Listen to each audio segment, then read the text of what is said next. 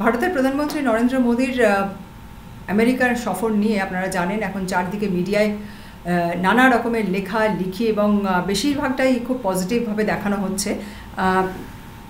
তার মধ্যে কয়েকটা বিষয় আছে, যেহেতু আমরা সবসময় খুব এম্পায়ারটাইটিস আপনারা জানেন, একেবারে শ্যালো জার্নালিজম করে না। সুতরাং আমরা একেবারে সরলভাবে সরল রেখায় দেখছি না পুরো ঘটনাটি না, আমরা চেষ্টা করছি যে আপনাদের কাছে এমন একটা পার্সপেক্টিভ তুলে ধরার।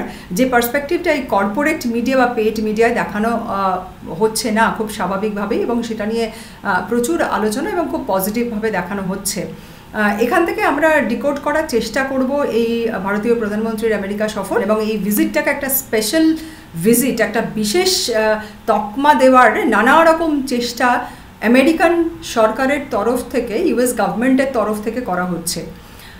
আপনাদের হয়তো মনে থাকবে যে ক্রমাগত এই গত কয়েক মাসে, তার আগের কথা আমি ছেড়েই দিচ্ছি, গত কয়েক মাসে ডোনাল্ড ট্রাম্প থেকে শুরু করে, দু কুড়ি সালে ডোনাল্ড ট্রাম্প একটা প্রেসিডেন্সিয়াল ইলেকশনের একটা ডিবেটে পার্টিসিপেট করেছিলেন জো বাইডেনের সঙ্গে। সেখানে তিনি ভারতকে ফিলদি বলেন। সেই সেই বক্তব্যটি আপনাদের এখন শোনাচ্ছি। শুধু তিনিই নন, বারাক ওবামা কিছুদিন আগে যখন নরেন্দ্র মোদী গুজরাটের বিবিসির তৈরি করা গুজরাটের ডকুমেন্টারিটা যখন সেন্সার করেছিলেন, তখন বারাক ওবামা তাকে আক্রমণ করে, কড়া আক্রমণ করেছিলেন। তারপরে নিকি হেলি তিনি জানিয়েছিলেন যে ভারত একটা অত্যন্ত সবথেকে বড় পলিউটার তো সুতরাং এই এই সমালোচনা এবং এই আক্রমণগুলো আমেরিকানদের তরফ থেকে আমেরিকা সরকার এবং প্রেসিডেন্সিয়াল ক্যান্ডিডেট বলুন বা প্রেসিডেন্টের তরফ থেকে বারবারই আসতে থাকে, এটা আমরা দেখেছি। কিন্তু তা সত্ত্বেও এবারে নরেন্দ্র মোদীর ভিজিটটাকে ভিজিটকে এত স্পেশাল বা বিশেষ তকমা দেওয়ার চেষ্টা এবং সেটাকে একটা খুব রঙিন মোড়কে দেখানোর চেষ্টা আমেরিকান সরকারের তরফ থেকে কেন করা হচ্ছে? এই নিয়ে আমরা জানবো তার আগে ডোনাল্ড ট্রাম্পের একটি উক্তি ফিল দি ইন্ডিয়া যেটা নিয়ে বিশালভাবে সরব হয়েছিল এখানকার মিডিয়া এবং সোশ্যাল মিডিয়ায় সেটা আপনাদের শোনাচ্ছি শুনুন 35 years under this administration we are working so well with industry but here's what we can't do look at China how filthy it is look at Russia look at India it's filthy the the air is filthy The Paris Accord, I took us out because we were going to have to spend trillions of dollars and we were treated very unfairly. When they put us in there, they did us a great disservice. Donald Trump বা Republican যাদের সঙ্গে নরেন্দ্র মোদী সরকারের খুবই ভালো সম্পর্ক বলে পরিচিত সেই ডোনাল্ড ট্রাম্প নরেন্দ্র মোদী সরকারকে এরকমভাবে আক্রমণ করেছেন এবং শুধু তাই নয় নিকি হেলি, আপনাদেরকে নিকি হেলির টুইট আমরা দেখানোর চেষ্টা করছি। নিকি হেলির টুইটটা আপনারা স্ক্রিনে দেখতে পাচ্ছেন। নিকি হেলি কিছুদিন আগে টুইট করেছেন জুন ফাইভের কথা বলছি। নিকি হেলি টুইট করেছেন যে if you want to be serious about saving the environment we need to confront India and China they are some of the biggest polluters Nikki হেলির এই টুইট করার পরে এটা নিয়ে যথারীতি সোশ্যাল মিডিয়ায় সরব হয়ে উঠেছিল। অর্থাৎ আমেরিকান সরকারের তরফে এবং বিরোধীদের তরফ থেকে বারবার ভারতকে আক্রমণ করা হয়। কিন্তু তা সত্ত্বেও নরেন্দ্র মোদীর এই ভিজিট ইউএস ভিজিটকে কেন এত উষ্ণ অভ্যর্থনা দেওয়া হচ্ছে, এ ব্যাপারে আমরা একটা বিশ্লেষণ আপনাদের সামনে রাখতে চাইছি। আমার সঙ্গে রয়েছেন আমাদের founding editor empire Nadim Siraj. Nadim অনেক ধন্যবাদ আমাদের সঙ্গে জয়েন করার জন্য। আমরা দেখেছি যে আমেরিকান গভর্নমেন্টের তরফ থেকে বারবার ভারতকে নানা রকমভাবে নানা বিষয়ে মানে মাইনরিটি ইস্যু থেকে শুরু করে এনভায়রনমেন্ট থেকে শুরু করে গভর্নমেন্টের তরফ থেকে শুরু করে যারা আগের প্রেসিডেন্ট ছিলেন তারাও মানে কেউ ছেড়ে কথা বলেন না। তা সত্ত্বেও এই পটভূমি কীভাবে তৈরি হলো? যে আজকে যখন ভারতের প্রধানমন্ত্রী যাচ্ছেন আমেরিকা সফরে, তখন তাকে এইরকম একটা উষ্ণ অভ্যর্থনা দেওয়া হচ্ছে। এর পিছনে কি কারণ রয়েছে?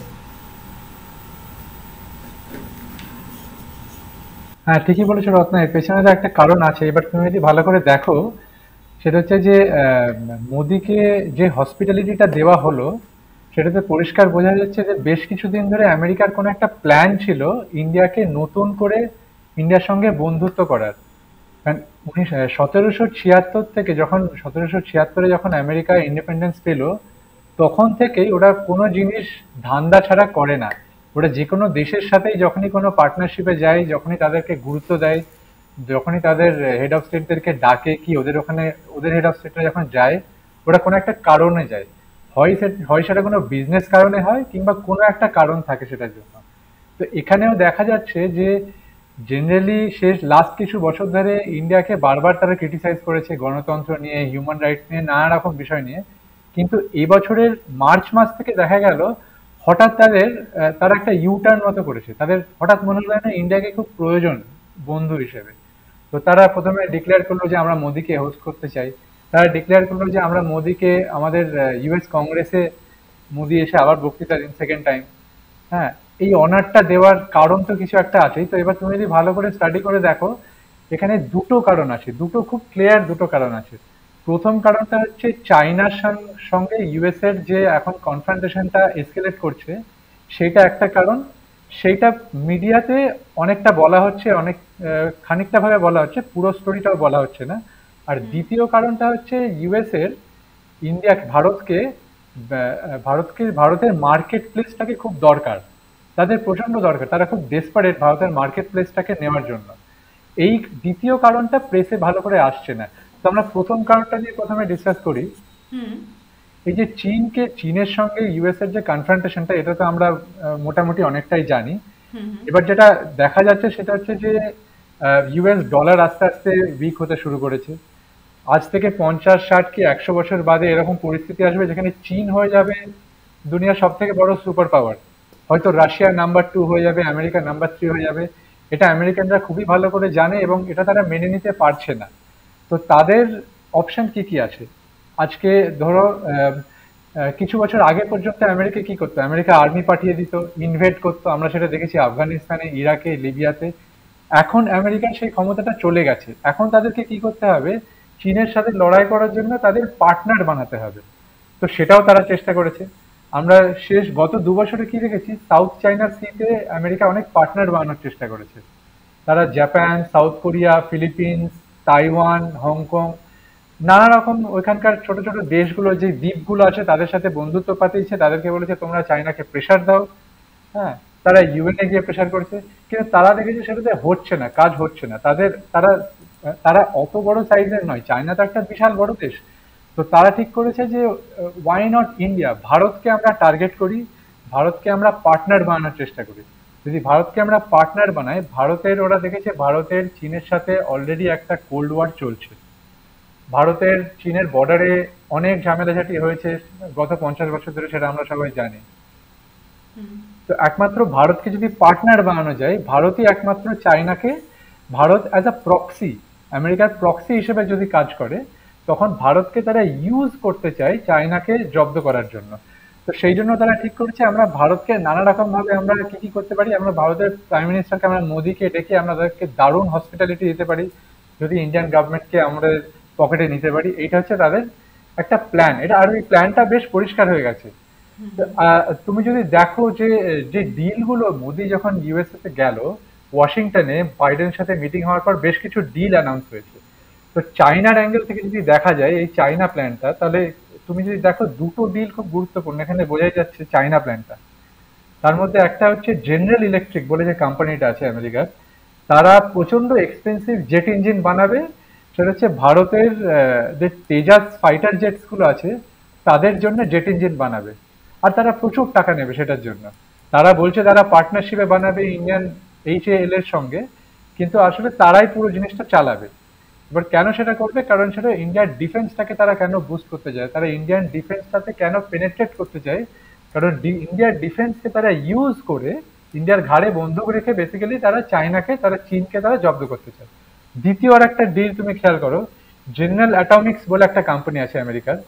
তারা একত্রিশ খানা মিলিটারি ড্রোন বিক্রি করবে ভারতকে তিন বিলিয়ন ডলার এর বিনিময়ে। সেটা প্রচণ্ড এক্সপেন্সিভ ড্রোন ডিল সেই ড্রোন ইন্ডিয়া নিজেও বানাতে পারতো। এবার এটা অন্য ডিবেট যে কেন ইন্ডিয়া নিজে বানাচ্ছে না কেন বিদেশি একটা কোম্পানিকে বানাতে বলা হবে? তো আমেরিকার উদ্দেশ্য হচ্ছে যে এই দুটো ডিল যদি আমরা ইন্ডিয়াকে ঠেলে দিতে পারি ইন্ডিয়ার ডিফেন্সের আমরা একটা খুব ইম্পর্টেন্ট জায়গা আমরা ধরে নিতে পারব আর চীনকে তাহলে জব্দ করা যেতে পারে। এইটা হচ্ছে তাদের একটা খুব ইম্পর্টেন্ট একটা প্ল্যান এবং তারা তাদের দৃঢ় বিশ্বাস যে এটা কোনো না কোনো একদিন তারা ইন্ডিয়াকে ক্যাপচার করতে পারবে। এখানে আর এটা তো প্রথম পয়েন্ট আর দ্বিতীয় কারণ সেটা মিডিয়াতে দর্শকরা মনে হয় না একদমই দেখতে পাচ্ছেন। সেটা হচ্ছে যে বিজনেস সেটা হচ্ছে যে আমেরিকার ভারতকে খুবই দরকার একটা মার্কেট প্লেস হিসেবে। তারা আমেরিকার গভর্নমেন্ট আমেরিকার যে কর্পোরেট ক্লাস ক্যালিফোর্নিয়াতে যে কর্পোরেট ক্লাস নিউ ইয়র্কে যে কর্পোরেট ক্লাস ওয়াল স্ট্রিটে যে কর্পোরেট ক্লাস তারা সবসময় এশিয়ার দেশগুলোকে, আফ্রিকার দেশগুলোকে ছোট চোখেই দেখে। তারা তাদেরকে বাজার হিসেবে দেখে। বরাবরই বাজার হিসেবে দেখে। সেটা এখনকার নয়। আমরা দেখেছি আর্লি নাইনটিস থেকে হাজার হাজার বিদেশি কোম্পানি তার মধ্যে বেশিরভাগই হচ্ছে ওয়েস্টার্ন কোম্পানি তারা ইন্ডিয়াতে এসে ব্যবসা করছে, তারা ইন্ডিয়ার সাথে ট্রেড করছে, কারণ তাদের উদ্দেশ্য হচ্ছে ইন্ডিয়া থেকে কীভাবে অনেক টাকা বানিয়ে তাদের নিজেদের দেশে সেটা নিয়ে যাওয়া যায়, যে নিজেদের দেশে সেটা ইনভেস্ট করে নিজেদের দেশের ইকোনমিক ডেভেলপমেন্ট হবে। সেটা হয়েওছে, সেটা সেটা হচ্ছে সাকসেসফুল মডেল তো এবার তুমি যদি খেয়াল করে দেখো ইদানিং লাস্ট দু তিন বছরের প্রচুর খবর হয়েছে যে আমেরিকার ইকোনমি আমেরিকার ইকোনমি আর সেরকম ভাবে গ্রো করছে না যেরকম ভাবে আগে করছিল। অবস্থা খুব একটা ভালো নয় এরম নয় যে অবস্থা খুবই খারাপ। আমাদের তুলনায় কি আফ্রিকার তুলনায় অনেক ভালো আছে ওরা। কিন্তু ওদের এখন একটা ভয় হচ্ছে এর থেকে ওপরে আর যাবে না। হ্যাঁ ওদের ওয়েলদি ক্লাসটারও খুব ভয় হচ্ছে আমাদের একটা স্ট্যাগনেশন এসে গেছে। আমরা এর থেকে ওপরে যাচ্ছি না কারণ ইকোনমিক্যালি চায়না পৃথিবীর অনেক অংশ চালাতে শুরু করেছে। আমরা সেকেন্ড হয়ে যাচ্ছি ইকোনমিক্যালি আমাদের ডলার খুব উইক হয়ে যাচ্ছে কারণ India China Brazil Russia Venezuela Iran Turkey Brazil South Africa এরকম অনেক দেশরা মিলে আস্তে আস্তে ইন্ডিয়ার আমেরিকার ডলারটাকেও বয়কট করতে শুরু করেছে। একবারে নয়, কিন্তু ধীরে ধীরে তারা বয়কট করতে শুরু করেছে। আমেরিকার ডলার উইক হয়ে গেছে, যেটা ওদের রিজার্ভ কারেন্সি এতদিন ধরে আমরা রিজার্ভ কারেন্সি হিসেবে জেনে আসছি তো আমেরিকার এটা একটা বিশাল ভয় যে আমরা আমাদের আমাদের এই ওয়েলথটাকে কি করে ধরে রাখব? আমাদের এই অ্যাফ্লুয়েন্সটাকে কি করে ধরে রাখব? কারণ অ্যাফ্লুয়েন্স ইজ পাওয়ার এই মডার্ন জিওপলিটিক্স হ্যাঁ বলো। একটা জিনিস বলছি সেটা হচ্ছে যে এই যে এই যে তুমি বললে যে এই যে ব্রিক্সে জয়েন করেছে ব্রিক্সে এখন অনেকগুলো দেশ জয়েন করেছে যার ফলে একটা পেট্রো ডলার সিস্টেমটাকে ভাঙার জন্য একটা একটা, চায়না মূলত একটা লিডার হিসেবে কাজ করছে এবং অনেক বড় দেশ, ছোট দেশ মিলিয়ে পৃথিবীর এখন অনেক দেশ জয়েন করেছে। এইটা কি আমেরিকার কাছে একটা বিশাল চিন্তার কারণ তো নিশ্চয়ই হয়ে গেছে। এবং তাছাড়াও তারপরও যে ভারতকে যে বাটারিং করা, আমেরিকার আমি বাটারিংই বলব, সেটার কি অন্যতম কারণ এটাই? এটা একটা খুবই বড় কারণ। এটা একটা, বলা যায় যে এটা একটা ইকোনমিক ক্রাইসিস যেটা আমেরিকা জানতে দেয় না যে আমেরিকার ডলারটার বিরুদ্ধে কাজ চলছে। আমেরিকার ডলারটা কি ছিল? এতদিন একটা একটু ওটা একটা রিজার্ভ কারেন্সি সবকটা দেশ আমেরিকার ডলারে ট্রেড করে, যে কারণে আমেরিকার ডলারটা স্ট্রং বলে, আমেরিকার ইকোনমিটাও এত স্ট্রং আমেরিকার ইকোনমি স্ট্রং বলে তার ভয়েসটাও এত স্ট্রং আর আমেরিকার ডলারটা দ্বিতীয় কারণে যেটা স্ট্রং ছিল সেটা হচ্ছে পেট্রো ডলার যেটা কথা তুমি বললে। পেট্রো ডলার দর্শকদের ছোট করে বলি, সেটা হচ্ছে যে গালফের যে দেশগুলো আছে, আরব দেশগুলো যেখানে যেখানে তেল যেখানকার তেলটা পুরো দুনিয়াতে বিক্রি করা হয়, সেটা আমেরিকার কোম্পানিগুলো মোটামুটি চালায়। তারা এমন একটা সিস্টেম করে রেখেছে উনিশশো বাহাত্তর, তিয়াত্তর থেকে যে সেই দেশগুলো তেল যেটা ক্রুড অয়েল সেটা বিক্রি করবে সব দেশকে একমাত্র আমেরিকান ডলারে আর কোনো আর কোনো কারেন্সিতে নয়। এটা একটা টাইপের দাদাগিরি, যেটা আমেরিকা একটা রুল বানিয়ে রেখেছিল গালফ দেশগুলোর জন্য। গালফ দেশগুলো এতদিন ধরে শুনতো এবং সেটার জন্য আমেরিকান ডলারটা এত স্ট্রং সেই সেই কনসেপ্ট আস্তে আস্তে ভেঙে যাচ্ছে, ধীরে ধীরে ভেঙে যাচ্ছে। কারণ চায়না ব্রাজিল ইন্ডিয়া রাশিয়া এরা কি এরা অনেক কিছু বিষয়ে একসাথে কাজ করে না। ইন্ডিয়া চায়না বরাবরই অনেক কিছু বিষয়ে কাজ করে না। রাশিয়া চায়না অনেক কিছু বিষয়ে বিষয়ে কাজ করে না। কিন্তু এরা সবাই এখানে তো একটা কনফ্লিক্ট অফ ইন্টারেস্ট চলে আসছে ভারতের। কারণ ভারত বরাবরই বেজিং এর খুব বড় শত্রু। নয়াদিল্লি বরাবরই বেজিং এর খুব বড় শত্রু এবং খুব রিসেন্ট টাইমসেও আমরা অরুণাচল নিয়ে দেখেছি। আরও নানা বিষয়ে আমরা দেখেছি যে এই শত্রুতাটা চলতেই থাকে। কিন্তু তা সত্ত্বেও তুমি বললে যে প্রথম কারণটা হচ্ছে চীনকে একটা শিক্ষা দেওয়া যে ভারতকে যদি অনবোর্ড আনা যায়। হ্যাঁ ভারতকে অনবোর্ড আনার তো একটা একটা ওটা আমেরিকার অনেক দিনেরই প্ল্যান যেটা প্রথমে ডিটেলসে তোমাকে বললাম। তো এখন যেটা ব্যাপার হচ্ছে যে ডলারটার লড়াইয়ে India, China, Russia, Brazil, South Africa, Turkey, আরও কিছু দেশ আছে, ইরান, এরা সবাই এক হয়েছে। তার কারণ এরাও বুঝতে পারছে ধীরে ধীরে। দেখো, দুনিয়াটা এখন আর ইউনিপোলার নয়, যখন ইউএসএ দুনিয়াটাকে একা চালাতো। আমরা পাস্টেও দেখেছি এককালে রোম রোমান এম্পায়ার একা চালাতো। এরকম এক, নানা রকম এম্পায়ার আছে গ্রিক এম্পায়ার যে এম্পায়ারগুলো এরকম এরকম টাইম গেছে, যারা একা চালাতো, কিন্তু পরে তাদের শক্তিটা ধীরে ধীরে ধীরে চলে গেছে। আমেরিকা এম্পায়ার একটা, কিন্তু আমেরিকার সেই এম্পায়ারেরও শক্তি ধীরে ধীরে চলে যাচ্ছে। এটা ইন্ডিয়া রিয়ালাইজ করেছে, এটা রাশিয়া রিয়ালাইজ করেছে। কাজে তারাও ডিসাইড করেছে চায়নার সাথে যদি আমরা এই ব্যাপারটাতে একসাথে সহযোগিতা করি, তাহলে আমাদেরও ট্রেডে আমাদের হেল্প করতে পারে চায়না কারণ কোনো এক, সবাই এই জিনিসটা সবাই জানে, এটা অলিখিতভাবে সবাই জানে যে আজ থেকে এখন নয়, কিন্তু পঞ্চাশ বছর, ষাট বছর, সত্তর বছর কি আশি বছর বাদে চায়না হয়ে যাবে একটা সুপার পাওয়ার বিরাট বড় সুপার পাওয়ার হয়ে যাবে ইকোনমিক সুপার পাওয়ার কাজে তখন তার সঙ্গে অনেক বিষয় কাজ করতে হবে। ইন্ডিয়া তখন নেবার ইন্ডিয়া যদিও চায়নার কোনোদিনই চালা হয়ে যাবে না, কিন্তু তবুও ইন্ডিয়াকে অনেক ব্যাপারে কাজ করতে হবে মানে অলরেডি ট্রেডে চায়নার সাথে অনেক কাজ করতে হবে ইন্ডিয়া চায়নার যে বাইলেটারাল ট্রেড সেটা একটা বিশাল অঙ্কের সেটা ইন্ডিয়া আমেরিকার যে বাইলেটারাল ট্রেডের যে অঙ্ক এক্স্যাক্টলি ওরকমই অঙ্কের একটা। কাজে এইসব ব্যাপারে একসাথে কাজ করতে হবে। কাজে আমেরিকান এম্পায়ারকে কন্ট্রোল করার জন্য এই মাল্টিপোলার ওয়ার্ল্ড হয়ে যাচ্ছে পৃথিবীটা অনেকটা সেই জন্য এরা এক হয়েছে এখন ইন্ডিয়া রাশিয়া চায়না এবং বাকি দেশগুলো। এবার আমি যে মার্ক হ্যাঁ। হ্যাঁ এই যে এখানে একটা এটা একটা খুব ইন্টারেস্টিং লড়াই তার। হ্যাঁ এটা ইন্টারেস্টিং আর এটার এর মধ্যে এর মধ্যে একটা এরম নয় যে এরা তিনজনের সবকিছু মিটমাট করে এক হয়ে গেছে তাও নয়। আজকে তুমি দেখো ভারত আর রাশিয়া তারা রিসেন্টলি অ্যানাউন্স করেছিল যে আমরা রাশিয়ান কারেন্সিতে আর ইন্ডিয়ার কারেন্সিতে আমরা ট্রেড করব। হ্যাঁ তো এবার সবাই ভাবলো, যাক, সবকিছু এবার খুব স্মুথলি হবে। ট্রেডও হলো।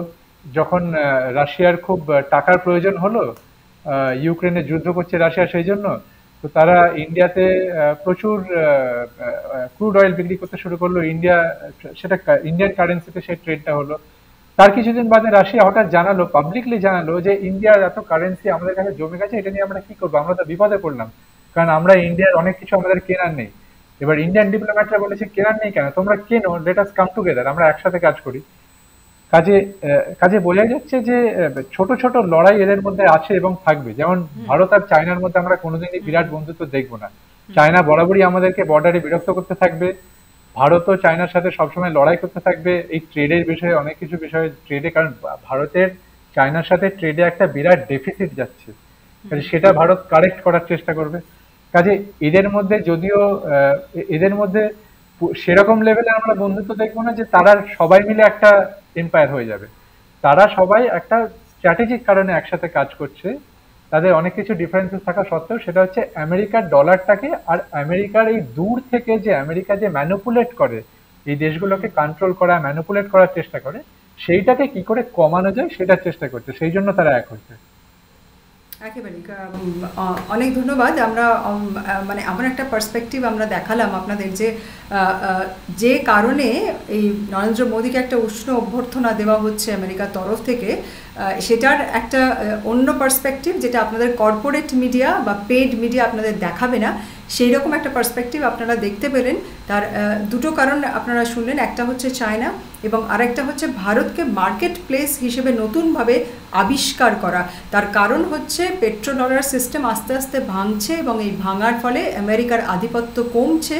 কিন্তু কোনো এম্পায়ারই তার মানতে চায় না যে তার আধিপত্য কমে যাচ্ছে। তার ফলে তারা আধিপত্যটাকে বজায় রাখার জন্য আরও একটা বড় বাজার ধরার চেষ্টা করে এবং সেই জন্যই এই উষ্ণ অভ্যর্থনা সুতরাং বোঝাই যাচ্ছে যে এর পিছনে যখন কোনো এম্পায়ার বা আমেরিকান এম্পায়ার যখন ভারতকে গুরুত্ব দিচ্ছে, তখন সেটা খুব সহজ বা সরলভাবে সরল ঘটনা নয়, কারণ সেখানে আমরা দেখেছি যে এলান মাস থেকে শুরু করে সিলিকন ভ্যালির সিইওরা সবাই মোদির সঙ্গে দেখা করেছেন। সুতরাং সিইওরা যখন প্রধানমন্ত্রীর সঙ্গে দেখা করেছেন, তখন সেখানে ডেফিনেটলি কোনো উদ্দেশ্য আছে। না হলে সিইওরা কিন্তু ব্যবসার উদ্দেশ্য ছাড়া অন্য কোনো উদ্দেশ্যে দেখা করেন না। সুতরাং এটাকে খুব সরলভাবে দেখলে হবে না। অনেক ধন্যবাদ আমাদের সঙ্গে থাকার জন্য। আপনাদের চোখ থাকুক এম্পায়ার